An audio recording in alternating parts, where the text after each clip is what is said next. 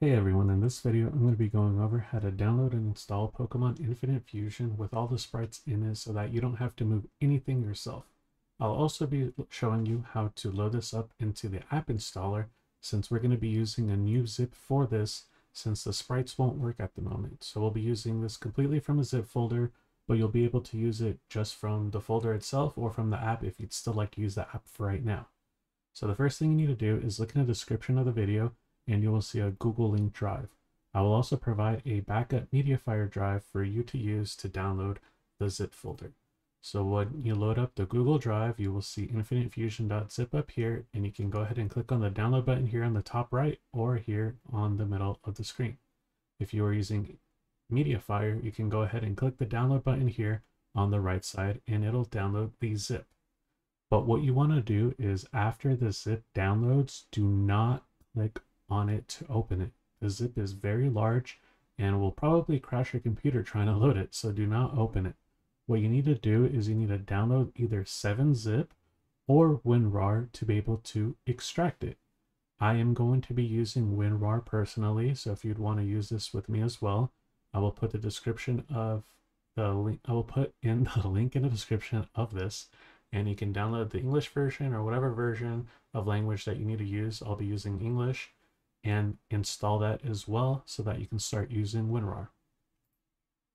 Once you have those two things downloaded, what you have to do is click on File Manager and then go to your Downloads folder.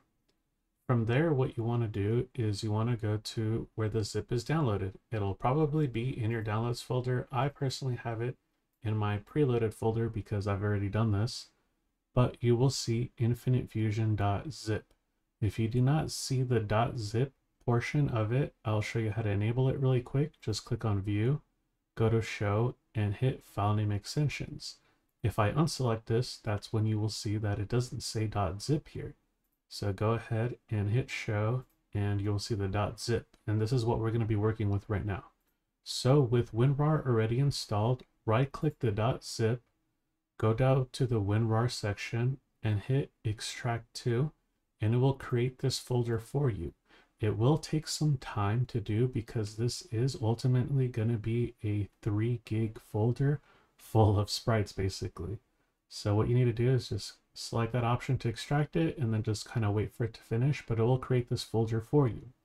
Now when you get into this folder and double click on the Infinite Fusion folder again, you will see all of the game files and that's all you need to do. You just need to download, extract, and you're ready to go. If you want to start playing the game, just double click game.exe and you're good to go. There is one setting you do need to turn off, but let me show you how to import this into the app installer first if you want to use the app installer still. So the app installer is a separate download and this will tell you whenever there are any new game updates or new sprites and anything basically related to the game, it will let you know. So I will put the link in the description of this as well if you want to still use this. So what you need to do is you need to click on settings, click change link folder, and navigate to the folder of where your new extracted Infinite Fusion folder is. So you would go to downloads and it would probably be in here named Infinite Fusion. For me, it's preloaded because I mentioned I, make, I created a folder for this already. But if you click on Infinite Fusion and Infinite Fusion again, once you get to this area here where you start seeing these other folders like graphics, data, fonts, that's when you know you're in the right location and you can click select folder. I am using a, okay, cool. So um, now once you see this and you'll see the game version up here in the top right says 6.2.3, that means it was imported successfully. So now what we want to do is we want to open the game. If you don't want to use the app installer, all you have to do is double click on game if you're using the app installer, you can just go ahead and click play and it'll open up the game for you. So what you want to do is you want to go ahead and open up the game and open up your save file if you have one. If you have a save file already, press escape, go to options, and go down to download sprites and turn this off. After you turn this off, hit escape and save your game. And that is it. That's all you need to do to set up this game with all the sprites in it already. If you do not have a save file, that's perfectly fine. And what you want to do is that when you do create a new save file, you want to make sure that you select no when it asks you to download sprites. So let me show you really quick of where that is.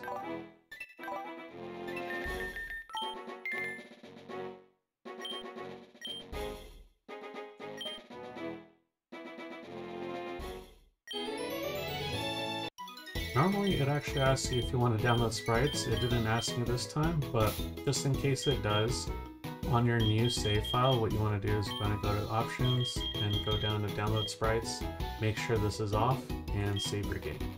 If not, then it's going to try to download sprites and it will result in errors and question marks and all of that stuff since the sprite repo is down right now. Um, so just make sure you have download sprites turned off and you're set up to go. Alright, but that's pretty much it guys. If you have any questions, let me know in the description below or in the tech support channel on Discord and I will help you guys out.